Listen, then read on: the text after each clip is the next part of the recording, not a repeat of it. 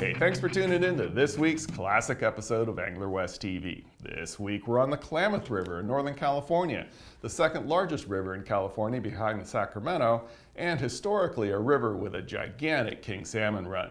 Now it's just been announced recently that the state of California has approved the permits to remove the four dams on the Klamath River. So that's going to be incredibly interesting to see how that affects the fishery in the future. Those dams could come down beginning in 2022. So we don't have too long to wait just to see exactly how dam removal can affect a river. And then after that, we're going to go up the Oregon coast and do some bay clamming. That's very interesting stuff and some great clams to eat, so stick around for that. Now, let's go to the Klamath River and do some king salmon fishing. National Geographic described the Klamath River as a river upside down due to its unusual geography with most of the agricultural areas upstream and most of the wilderness and mountains downstream to the mouth which drains the Klamath into the Pacific after winding 263 miles through southern Oregon and northern California. Today we're skimming along this lower section aboard a Klamath River jet boat tour boat, which is by far the best way to experience this remote lower section of the Klamath. Our guide is Captain Rich Mossholder, who shares his in-depth knowledge of the river with the passengers, which today includes Terry Buckley and his friend Debbie Diaz, who are not only enjoying the jet boat tour, but also being taxied to Rivers West Lodge, a remote destination deep in the Klamath River's mountainous wilderness. I got wet that time. Captain Rich likes to show off the jet boat's unique ability to spin donuts when stopping to point out and talk about interesting features of the river. And after a fantastic tour, we arrive at Rivers West Lodge, about 20 miles deep into the Klamath River wilderness.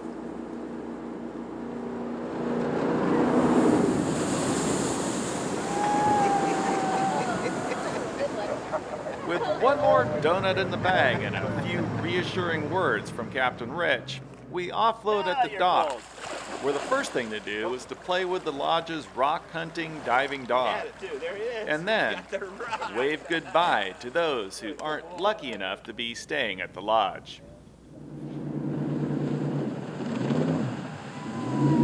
This afternoon, Captain Rich will make sure that his passengers have a cool, exciting ride home. And then early tomorrow morning, he'll be back up to Rivers West Lodge to share with us his knowledge gained after over 30 years of experience on the Klamath River, and to guide us for Klamath River Chinook salmon.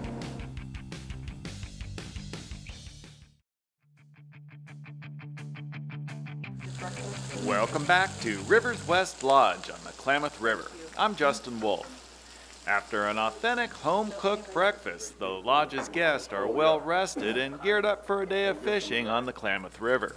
A remote oasis only accessible by boat, Rivers West Lodge is a friendly, relaxed place to enjoy the wilderness and the great fishing the Klamath has to offer.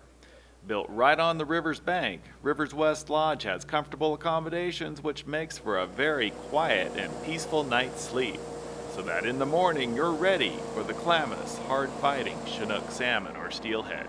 We're with Debbie Diaz and Terry Buckley, who have limited experience with this type of fishing, but that's okay as our guide, Captain Rich, is an excellent teacher.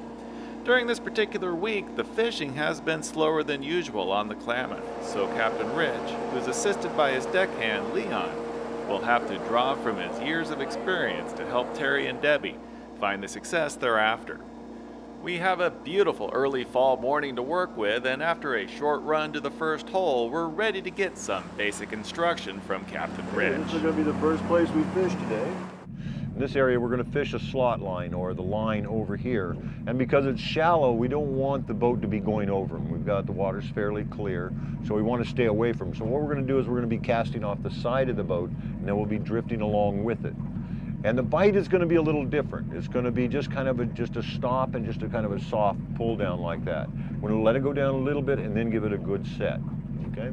And just if take your time, and if your cast isn't exactly perfect, we'll move the boat to make your line drift in the right place. So you don't have to worry about it. Everything's okay, and we'll make it all work. So it's going to take me a minute. I got to set up the little motor, and I'll work off of that, so we're a lot quieter out here in the water.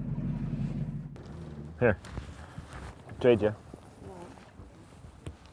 We do a good tandem. A little bit farther. There you go. Perfect. We're in the water. That's all. We're in, and we're gonna catch fish. Why the style of uh, The balls that that we're using? using made out of rubber, well, they're very heavy, very dense rubber. Some of it is actually recycled from tires, and what they do is they compress it and make it into a ball. But what it does is allows it to go along. You can see the rock edge over there. You see how much rock there is and how how your bait or your sinker would stick in that. What this does is allows it to get down to the bottom, but yet just bounce very softly across. It gives us more of a natural approach, and then we're not hung up all the time. right? So in certain types of fishing like this, we like to use them like that. It, it makes it a much better approach. This is a Blue Creek area. Blue Creek comes in up river just a little bit. This comes down into a pretty good sized hole. And it's a good place for the fish to hole up. Blue Creek happens to be one of the better streams or the better spawning streams on the lower Klamath River. Very clean water, has good spawning grounds up above. And literally tens of thousands of fish will go up Blue Creek during the fall and the winter time to go spawn. Okay, as we're going along, you're gonna feel it's gonna just kind of bounce. It'll be just a down and a back bounce. A fish, when it takes it, is gonna be soft. It's not a real hard bite like you'd think a big fish would do. What they'll do is they'll just take it and just kind of pull down and then just pull down a little bit more, just kind of gradual. And it takes a couple of good bites before you really feel it or feel how it works. It just feels a little bit different. And if you feel something different, set the hook, it's okay. That's my good luck charm right there. There you go. Now this drift we're going to make kind of a long one. We're going to back up, then we're going to shorten it up a little bit, shorten it up a little bit, and then if we're not finding anything, we'll move on from here. There's lots of fish upstream also. Deb, what do you do now? there you go. Hold on now. We're not sure who's winning yet. She knows this technique. Good enough All for this stuff. That's pretty cool. No, Oh, that's a nice hold, Deb. fish. That's a nice one, huh? Yeah, that's a nice fish. Do they they breach like that a lot? Not very often, but if they do, it's fun. I told you she's my lucky charm. Hey, what, Are you if you swimming? need to, you can walk right through here, come right up on the bow. You can just pretend like you're in. Keep it away from I'm keep it away from the right boat. Let me have your rod. Let me have your rod, sweetheart. There you go. Just had to get it over that. Oh, look at that. And a girl. Oh, that's a nice fish. Good job. Nice fish. Nice fish. Okay, you're gonna reel down and just kind of lift up nice and smooth. If you lift it up nice and smooth, it'll come right with you. Keep lifting. Nice fish. Oh, didn't quite get there. Hope you didn't put that one on. yes, he did. We'll just make it play around a little bit more. Nice little female here. Cut the nose of that. Hey. That girl, reel down, lift up. He saw that old man doing the dip on him. And it, Yeah. Oh, I tried to go a little bit early, you know. Mm. Got a grip, Deb? Yeah. Doing a great job. All right, here we go. Nice and smooth. We'll just wait for him to turn around. Not yet. Nice and easy. You're doing a great job.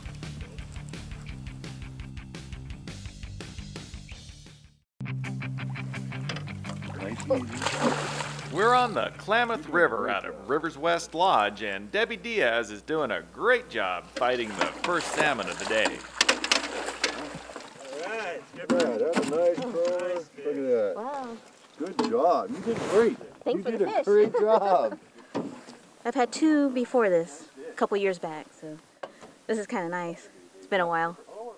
Good to be break from work.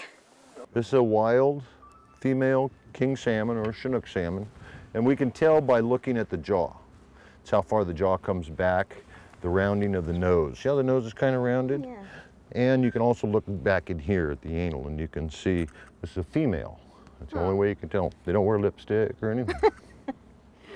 Here, hold that up, get a picture of that. Oh, that's pretty cool, Deb. Good job, girl. We're going to take the boat just with a small engine, go out away from where the fish are laying in this big hole. We're going to fish it again. We're going to make a nice quiet drift. Not too many people around. There's quite a few fish in this hole, so we're going to try and work it a little bit, be as quiet as we can so we don't disturb the fish. see if we can get some more out of here. The bite's been tough, but uh, we've got nice fish so far. Starting out the morning, see how it works out. Good one, just right. Side drifting is generally very effective on the Klamath. Created a monster.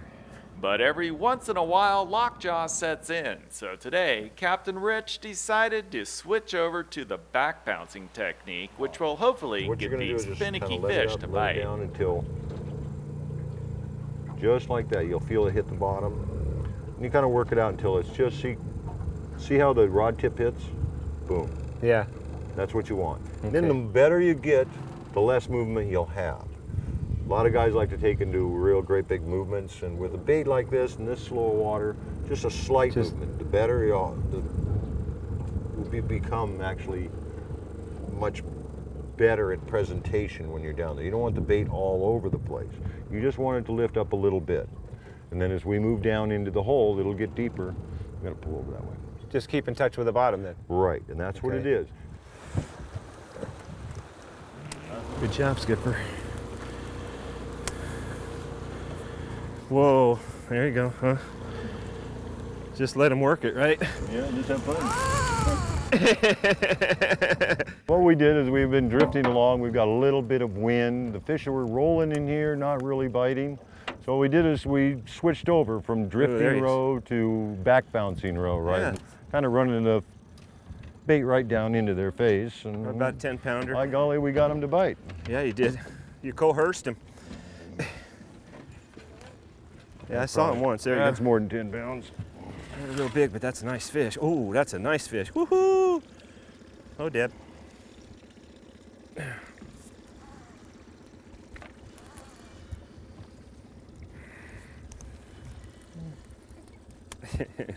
Saw the shine.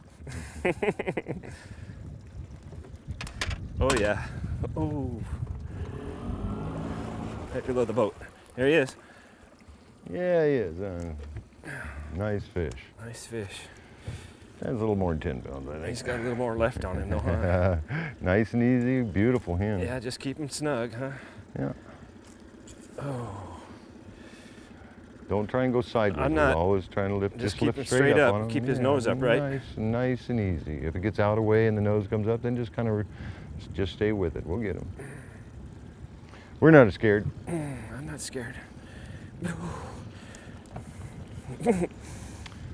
Okay, reel down a little bit more. Reel down.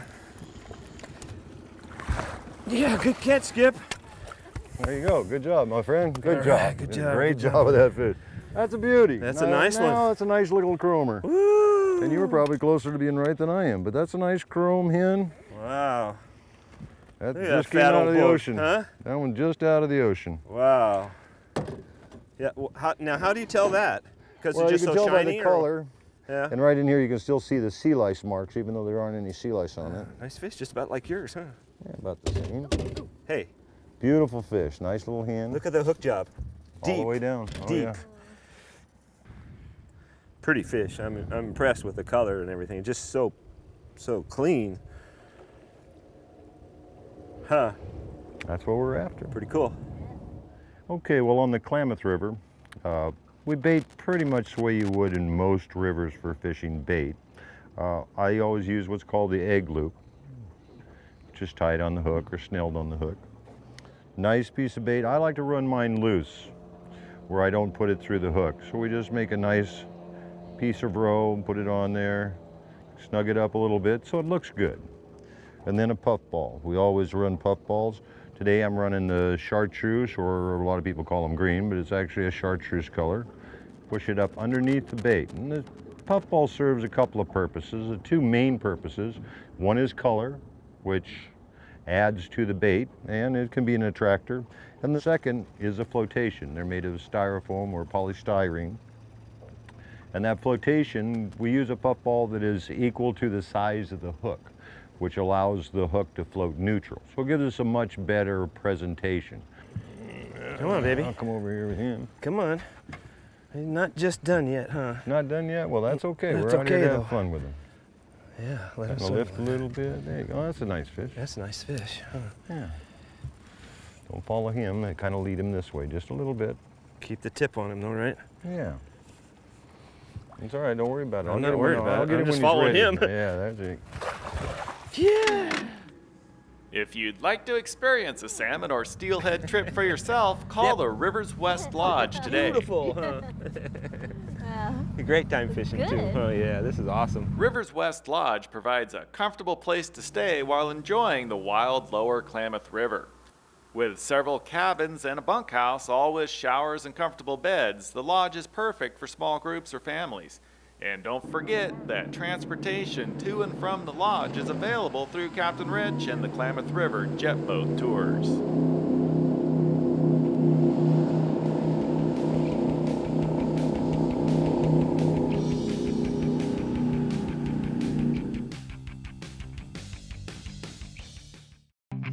You're enjoying this week's classic episode of Angler West TV, where we just finished up salmon fishing on the Klamath River. Now we're going to head to the Oregon coast and dig some bay clams.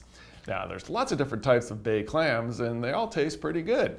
Now, they're different than clams that you're going to find in the surf or in the beach, like razor clams. So we're talking about bay clams, like little necks and steamers, and butter clams, and cockles, gapers, blues. There's lots of different names that, gets a little bit confusing. But what we're after today, we're calling quahog mussels, not mussels, clams. Now, quahogs, that's an old Indian name that refers to lots of different types of hard shell clams, I think. But the ones specifically that we're looking for today are what a lot of people would call butter clams. So whatever you call them, they all taste great coming out of the frying pan. Now, let's go to the Oregon coast and dig some clams. Now, this was many, many years ago, but it's the same deal now as it is then, is that you have to check and be sure that you're not digging clams at a time when they're going to be toxic to you. So if you're not familiar with this concept, what happens is there are algae, or, well, it's a type of algae, but diatom blooms in the ocean that occur naturally. And if those blooms get washed inshore and clams being filter feeders suck up that those diatoms, then that can produce toxins that can make us sick. So you don't want to eat shellfish when they're toxic, right? So now the old saying is you don't eat, uh, you can only eat clams in months with an R in them. So in other words, not during the summer. But you don't want to go by that. You have to follow what Fish and Game is telling us. Now, Oregon, for example, has a really good uh, website, the Fish and Wildlife website, that has lots of great information about clamming and also a hotline number that you can call so you can be sure that you're clamming at a time when the clams aren't going to make you sick. So you want to check that number that's on the screen, make that call, check your website, make sure everything's in line, and you can go out and dig some awesome clams that really are fun to catch, or fun to dig, I suppose, and great to eat. Now let's go to the Oregon coast and dig some clams.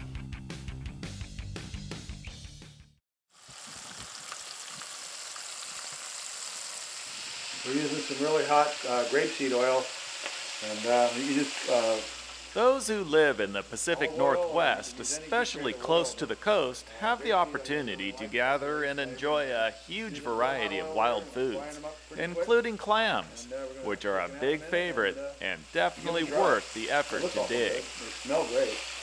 These are quahog clams, which we just dug earlier this morning. I love to fish, but there's so many other things you can do when you're fairly close to the coast. And clamming is one of my favorite things. I mean, it's easy to do, and uh, you can do the whole family. If you've got young kids, it's fun to do. If your wife motion sickness, there's no problem with that when you're out on the on the on the on the bay because there's no boat, there's no motion. So it's just a lot of fun things to do, and uh, like I said, it involves the whole family. And the best part is when you get home, you get to eat them.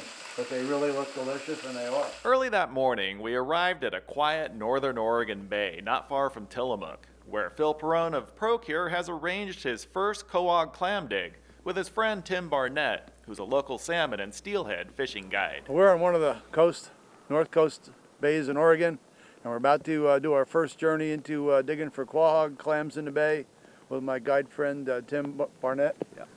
Yeah, we're gonna go out and get quahogs today, and we won't dig any of the blues. We'll just dig quahogs, Phil, and it'll be it'll be easy, fun, and they're really good eating. Not near as much work to clean as the as the blues are, Or razor clams. Or or razors. No, they're not they're not much not much easier than razors, but way better than the the blues. Okay, well, we're excited to do it. Now let's go give it a try. Phil is experienced with razor clams, which are dug on the beach, but this is his first attempt at bay clams, which are a favorite of Tim Barnett. Right here, we got a bunch of quahog holes. Um, they're shows, as you'd call them.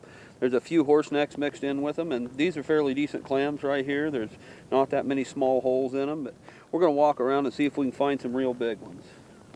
So the bigger the hole, the bigger the clam. That's what we're hoping. So what are these here? Now that's a nice size round hole right that's there. A quahog hole. Okay. And uh, So you're looking for an area where they're really packed and close packed together. Packed in close together. So you dig one hole and then just start breaking dirt off and yeah, finding them? Yeah, that's what we'll do. We'll go down till we get down to the depth of the clams, which is usually about a foot to foot and a half. Okay. And then we'll just start working working up the hill towards them and uh, roll them out as we get. You don't hardly ever break one. They're they're a pretty tough shelled clam. And Good, well let's go do it. all right, we're going to start in right here, and we're going to work our way up the hill. There's quite a few clams above us. That way we can just keep working, dig one hole, and we'll get all our all our clams right out of this one spot. So we're gonna basically dig a hole, dig a trench and throw all the dirt behind us. Then we get the trench down to a certain depth. We're gonna break the dirt away and find the clams. Just dump the clams out into the trench. Yeah, that's exactly how we're going to do it, Phil.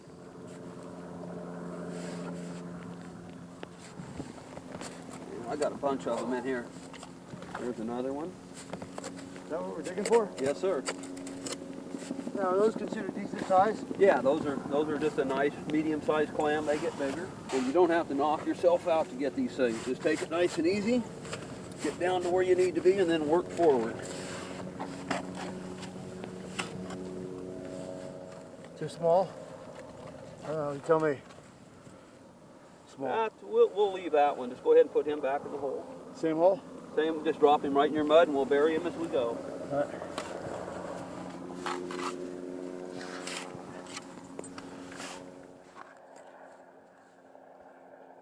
That's just a medium keeper. Um, you can keep nice right here. you can keep any size. Hey, Phil finally got one. That's a good one. That's a good and, one. And they get bigger than that. These are a bay or a mud clam, and there's several different types of clams in the bay. We got cockles, little necks, some eastern soft shells, and these are my personal favorites. They're easy to get. They're real tender. Not far off of a razor clam, and those are in the in the beaches and the surf. And uh, these things are real easy to get anytime you've got a low tide where you can get out to the clam beds. Five. And we'll keep that one and leave the other ones in the hole. The key to finding a good digging area is the easiest way is to just watch where other people dig. If there's a lot of people out, you'll be able to you'll be able to see where the concentration of the clams is, and then find your own ground and, and just do it. Find the find the shows, and once you found the shows, you've got the clams. That's a little guy. We're going to leave leave him. We'll put him in Phil's hole. He'll think he found something.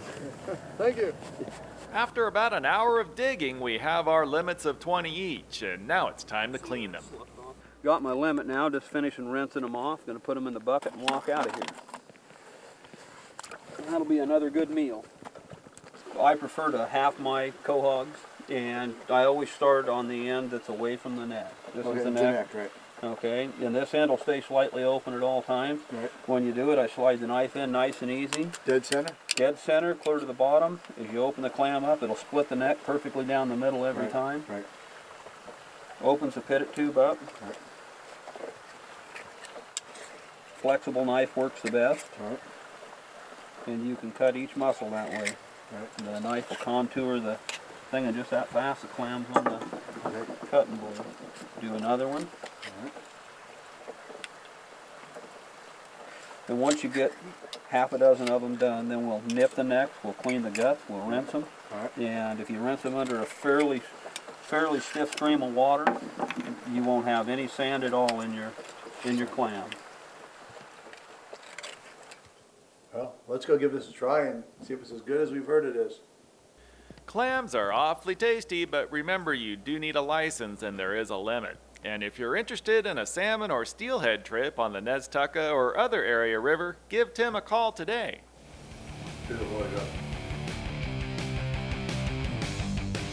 Hey, thanks for watching today's episode of Angler West TV. You know, it's only with the sponsor support that the show is made possible, so please thank them when you can. Now get out there and do some great fishing.